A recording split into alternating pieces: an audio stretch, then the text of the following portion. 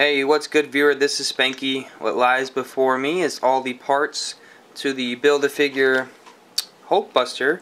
And I've been reviewing all the figures. They're kind of just sitting over here. Yeah, so I finally got together. I think it's really cool that Marvel Legends does this. This is just a really great idea that Toy Biz started and Hasbro is continuing. It's just like, hey, you get all these figures and then, oh, cool, you get to build this big massive figure. So that's really cool. So now I got a big Hulkbuster. And uh, I may be wrong, but I'm pretty sure this is the biggest Build-A-Figure Hasbro's come out with. Uh, Toy Biz used to do huge figures like this all the freaking time. I'm pretty sure this is the first really massive Hasbro they've come out with. So I guess I'll just put this together and talk your ears off. Hopefully it doesn't take me that long. You have to put these on specific legs. I think they uh, made the joints different sizes because I tried to put this on that wrong side and it wouldn't go. So that's actually pretty neat that they did that. Smart. So I got both legs on. So yeah, this is huge. Let's put it next to the War Machine here. yeah. So as you can see, his legs are about five inches tall already. And then we'll look up a little bit. And it looks like these two pieces I forgot who they came with. Which side goes where? Okay, this has to go up top. Just trying to figure out which side goes on top here.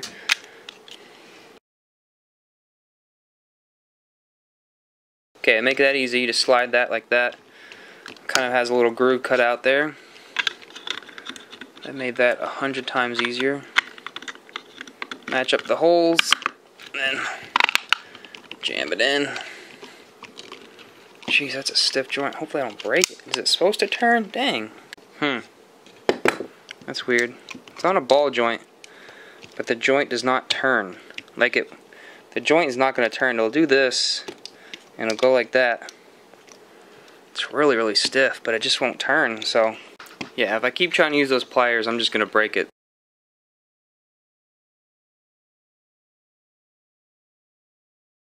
So I'm going to go on a little short rant right here, and this is a big problem I've been having with these Build-A-Figures, especially on the the Thor Build-A-Figure and Odin's Son Build-A-Figure, is that they're not making these legs fit correctly. They always pop out on me. The arms never pop out. Those always fit in freaking fantastic, but the legs, they just, they need to make them more like this so that they stay in there. Because they keep, they fall off pretty easily. That one fell off too easily. And the last piece is the head. Boom, boom, boom, boom, boom. So that's pretty cool. I'm really happy to have this. This looks freaking fantastic. It does look a little bit on the cheap side. It would have been nice if they highlighted the details a little bit with some different shades of red or maybe added some shading to this gold here or just some just shading it all to the red or to the gold would look nice but it looks kind of cheap otherwise, but it's pretty freaking big. I like it a lot. I'm not going to complain too much. And again, just would have been nice if they had some detail. It's just a little bit too flat. That'd be my complaint. And the overall paint.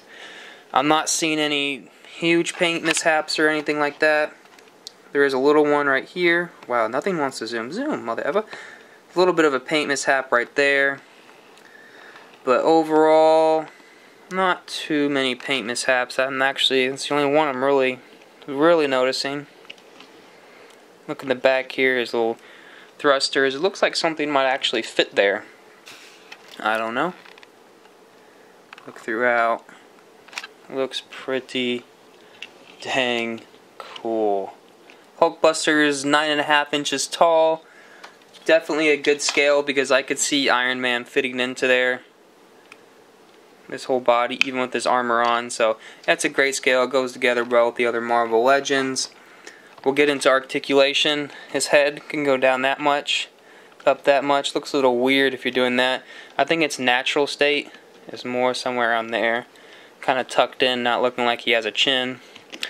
As you saw earlier when I was building it, I had quite a few problems with this diaphragm joint here.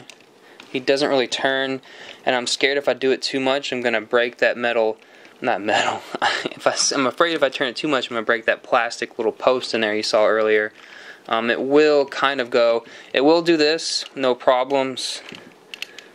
It will tilt backwards and forwards. It just won't turn, which is kind of disappointing. Arms will go up that high. We'll get a 360 out of them. We got a giant single jointed elbow joint here. Wrists do have articulation. The hinge will go in, but of course it won't go out because of this uh, giant gauntlet on his giant gauntlet, giant gauntlet, yeah, giant gauntlet on him. And then there's not going to get any twist out of it because of the gauntlet either. His legs, they'll go up that high, which is pretty freaking high. I don't think you'll ever need them to go that high. They go back that far. Double jointed knee. And then you've got a little bit of an ankle rocker there. Goes a little bit front and back. That's actually really good articulation. That's more articulation than we get out of these freaking figures. So that's really good. Kudos to that Hasbro. So overall, this is a really freaking cool Build-A-Figure. I am ecstatic to have it. Iron Man's so happy his head keeps trying to pop off here. Uh, articulation's great. Other than that crappy diaphragm joint that we got going on here, kind of just have to work with it. There goes Iron Man's head again. Fell on the floor. I'm not going to go find it. Just going to talk. Articulation was good, impressively. Or unexpectedly, it was pretty good. I thought it would be a lot less articulation than that. I was wrong before about saying this is the biggest Build-A-Figure Hasbro's ever done because if you include like the older like Fin Fang Foom and stuff, I'm pretty sure those were made by Hasbro. I could be wrong. But this is definitely the biggest Build-A-Figure Hasbro's come out with with the new Marvel Legends and the Infinite series and stuff like that. Uh, they haven't built anything this big since they started again about like five years ago or so. Paint apps came out pretty well. I just wish they would have added some shading to bring out the detail because it looks kind of cheap without it. Not bad though. Um, but overall, I definitely recommend this Hulkbuster. I definitely recommend collecting all the parts and getting off eBay or getting all the figures, whatever you can do. Uh, check out Big Bad Toy Store because I know they're selling this and you can buy it there. They're either open or they're open for pre-orders. So either way, I know you can get it from there. Anyways, just thanks for watching my review. I really do appreciate it. Like, comment, and subscribe. Check out all the other figures I did to build this Hulkbuster. And other than that, have a good day. Peace out.